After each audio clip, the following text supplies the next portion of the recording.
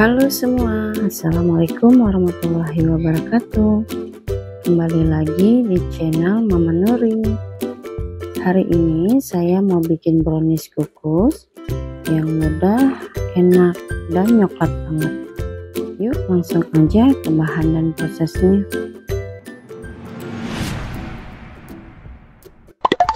Pertama-tama kita akan bikin bahan cair yaitu di sini ada 65 gram coklat batang. Akan saya lelehkan terlebih dahulu dengan cara ditim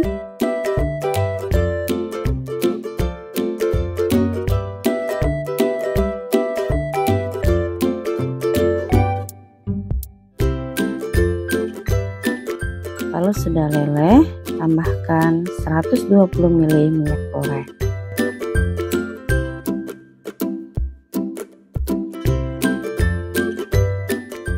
kemudian kita aduk agar tercampur rata.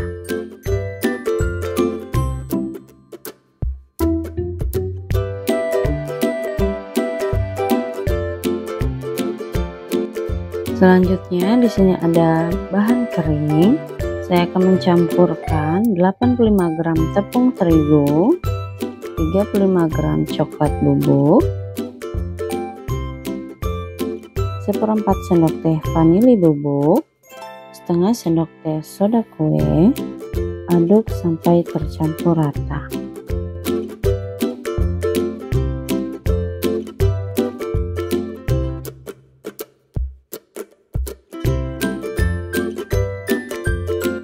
Kemudian siapkan wadah, masukkan 4 butir telur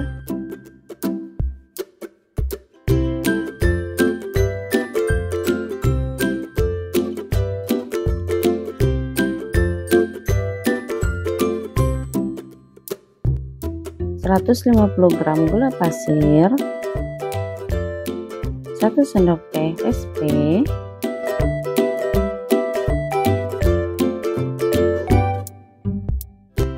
mixer sampai mengembang dan berwarna putih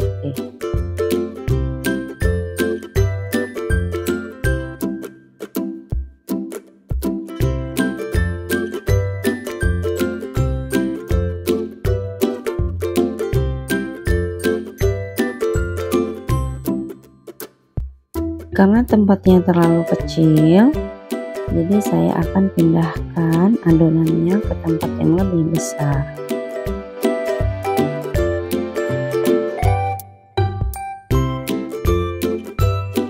Kemudian masukkan bahan kering. Jangan lupa diayak agar tidak ada yang menggumpal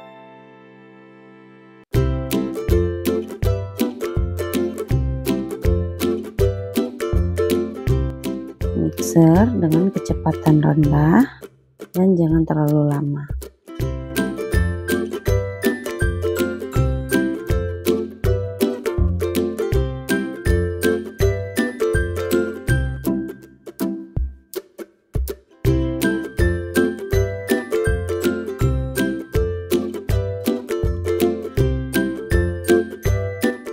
Kalau sudah tercampur, kita akan masukkan bahan cair.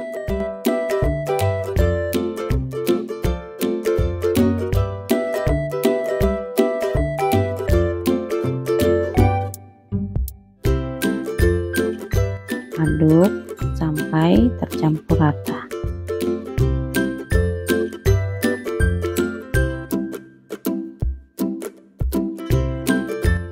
Kalau sudah tercampur rata kita akan membagi menjadi tiga bagian yaitu satu bagiannya akan saya campurkan dengan dua saset kental manis rasa coklat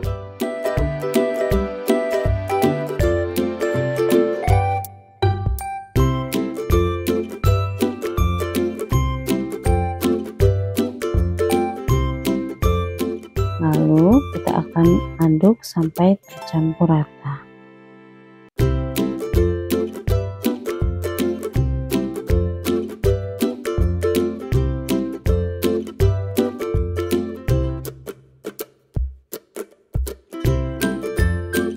Di sini saya sudah siapkan dua loyang ukuran 22 kali 10 cm. Boleh juga menjadi satu loyang sesuai selera saja. Kemudian oleskan dengan margarin ditambah dengan minyak goreng dan juga tepung terigu di permukaan agar permukaannya tidak lengket.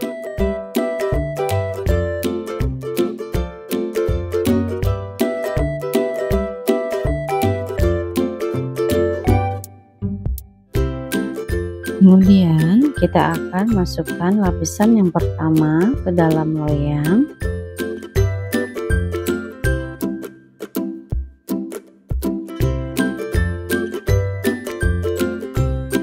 Lalu diratakan seperti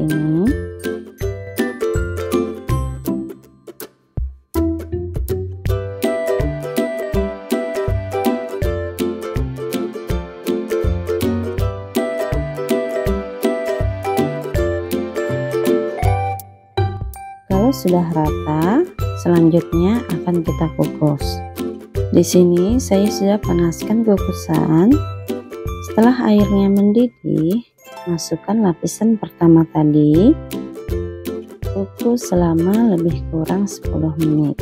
Lalu, setelah 10 menit, kita akan masukkan lapisan yang kedua yaitu yang telah dicampur dengan susu kental manis tadi.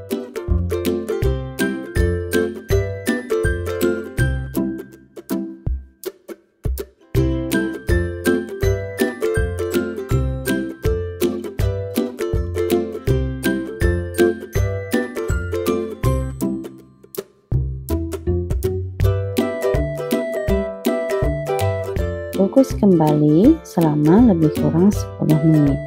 Selanjutnya, masukkan lapisan ketiga.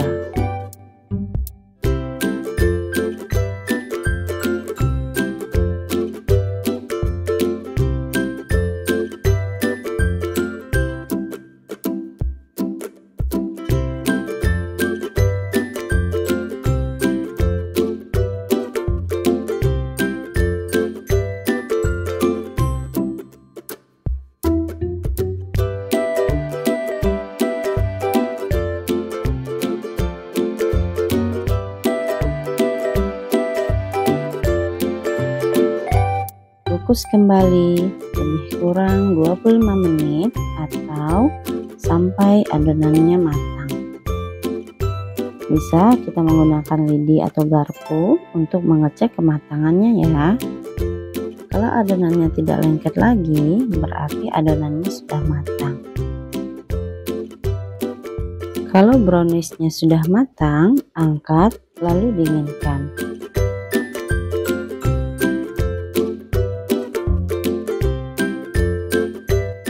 Selanjutnya kita, kalau sudah dingin browniesnya kita akan keluarkan dari loyang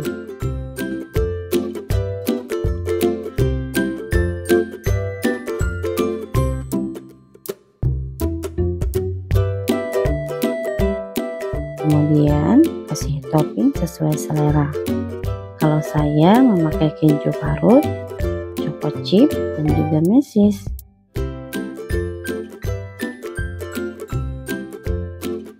Bagi teman-teman yang menyukai video ini, boleh like dan subscribe ya. Terima kasih.